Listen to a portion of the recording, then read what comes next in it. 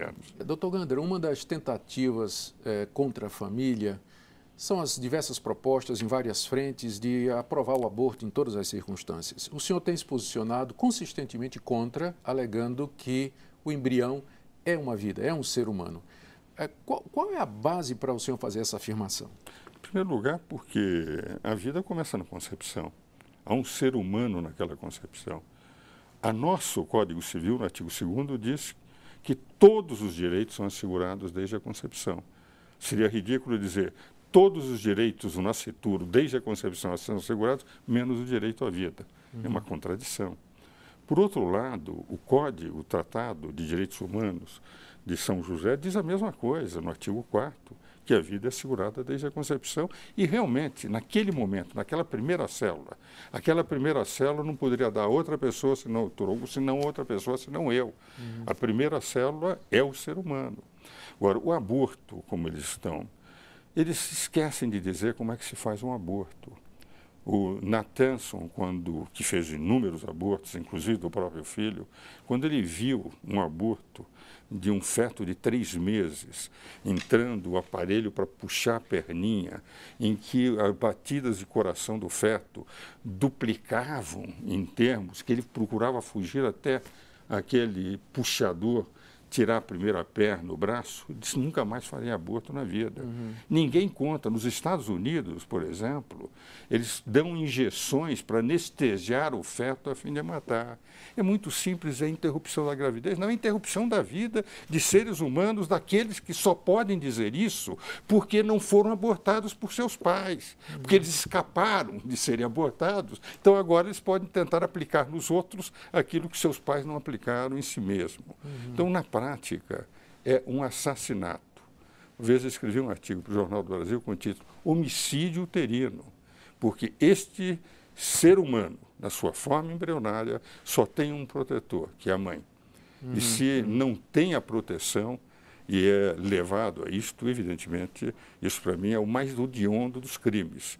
Porque outros crimes, as pessoas ainda podem se defender. O feto não tem defesa não nenhuma. Tem defesa. Alguns acham que essa posição de que o feto é, é, um ser humano é uma posição eminentemente religiosa e que não caberia é, num Estado laico uma discussão uh, que envolvesse argumentos religiosos. Não é verdade. É, é o argumento, uh, essa ideia de que Estado laico é a mesma coisa de Estado ateu, senhor... Em primeiro lugar, não é verdade. Eu escrevi, coordenei um livro com 30 professores 26 professores de direito, três professores de medicina e uma professora de biomedicina, só analisando o direito fundamental à vida. Todos eles com argumentos, com sete de dez países, de sete países diferentes e dez professores, inclusive o vice-presidente da Corte Constitucional da Itália, o Máximo Vale. E todos cientificamente o Supremo fez para discutir as células tronco embrionárias, o Supremo fez é, uma audiência pública e todos foram obrigados a considerar que a vida começa na concepção. Ora, é cientificamente provado. Como é que se pode dizer que é uma posição de convicção religiosa aquilo que a ciência prova?